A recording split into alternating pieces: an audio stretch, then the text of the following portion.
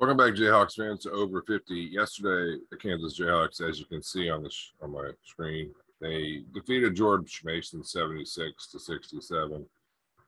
But uh, that is not exactly, you know, that could be a deceiving score when you look at it because it looks like, oh, you know, they blew them out in the first half and stuck even in the second half. But if you look at the game flow here, George Mason you know, kept things close. I mean, even when there was, you know, 11:43 left in the second half, here you have them down six. There you have them down seven, and then you get closer to the end of the game. 3:45 left, down five. Uh, Kansas did not play a very good game, or as far as I'm concerned, they did not play a game that they did not play the kind of game that you want to play going into conference play, going into Big 12 play, where you have to go on the road at Oklahoma State. And keep in mind, this team has not faced a home court advantage or disadvantage, I should say. They've been they've had the home court advantage basically all year, except for you know the loss to Dayton and when they you know played in the uh, ESPN Invitational tournament.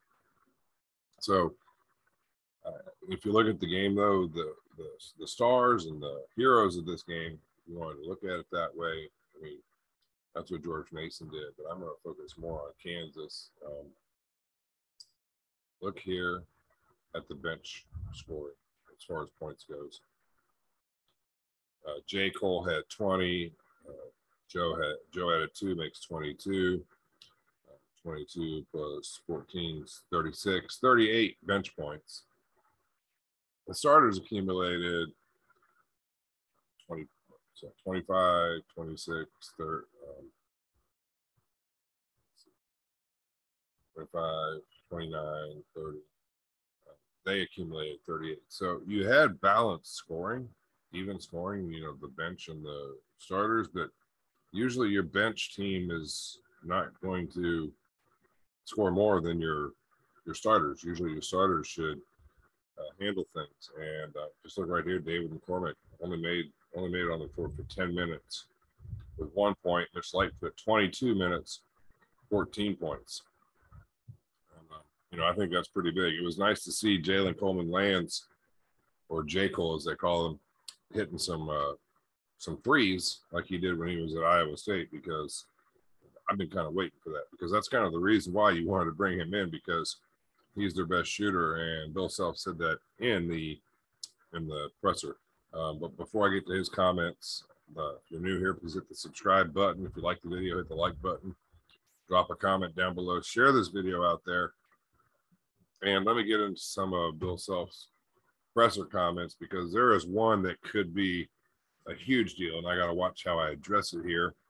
So uh, I'm going to go with the word coof, but the question was asked, why was Bobby Pettiford, you know, not out there on the, the floor, you know, or not on the floor, but, you know, out there with the team on the bench as he has been.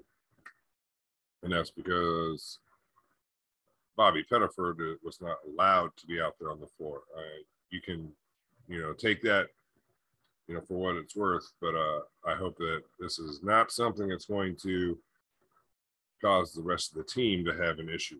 Uh, one player with the coof, and that can lead to another. You saw what happened with the Kansas City Chiefs and a whole bunch of NFL teams, NBA teams. The Bulls had an issue with it. So hopefully, this won't lead to more uh, players having to deal with this issue. Self said that he tested positive, but nobody else had been around him when they did the contact con, uh, contact tracing. Um, so you know, and they went ahead and they uh, they tested some other players that they thought might have been a concern, and they all tested negative. And um, he mentioned that three to five days in contact, then you must be contact tested, and that was not the case. You know, so there were no players around him. So hopefully, this is an isolated incident, but it does it does it, it, it is kind of concerning as you move into conference play like let's say you lose Agbaji and CB, you lose Ochai and CB, to something like this. I mean, granted, in this game, they only had 14, 25 points between them, but that's, you know, 25 points. That's almost a third of the points scored. They scored almost a third of the points that Kansas scored. So you can't really have that kind of an issue going into um, conference play. So that would not be good. So that's something, you know, we got to keep an eye on. Hopefully, Bill Self uh, manages that manages that situation correctly. Uh, he basically went on to say that the bench won the game, and I totally agree with that. I've already pointed that out. If you look at the, the points here that the bench scored, J. Cole and Mitch were big. Again, the points line shows that. I mean, J. Cole, 25 minutes, 20 points, seven of nine from the floor, five of seven three point range. He only made one of two, one of his two free throws. So, you know, there's always improvement there. But without J. Cole, they don't win this game. Uh, Juan and CB and Och, or Ochai, as he calls it, um, they just look tired. He thinks that they kind of need a rest. So hopefully they can get their batteries recharged before their their battle on the fourth at Oklahoma State and Gallagher Iba Arena. Uh, he said Juan is definitely better than Remy. And you know, if you look at Dajuan Harris, I mean, he only had four points after coming up that 14 point game previously. Um, Yes, I just totally forgot who they played. Uh, it'll come to me in a minute. But, uh, you know, the game that they previously had where he had 14 points, uh, Nevada, that was it. He put 14 on in Nevada. Remy was in that game.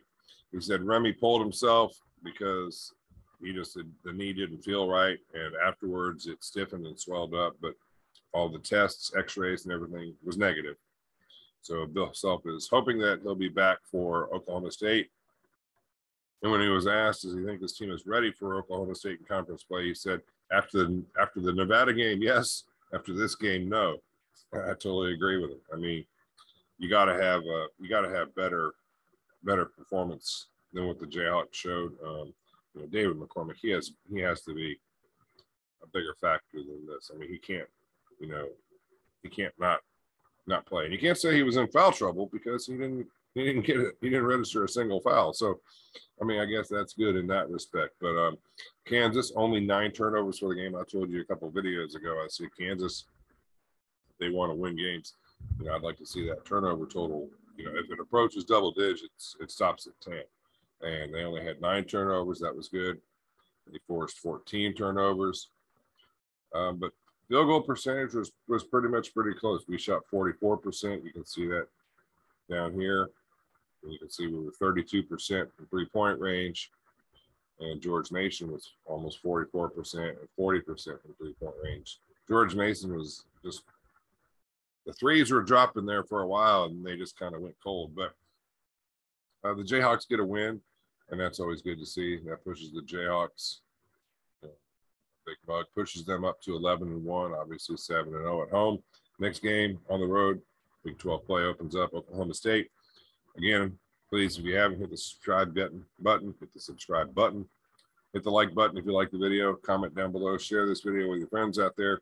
And until next time, Jayhawks fans, uh, I hope you're having a happy new year. I hope your holiday was safe and take care.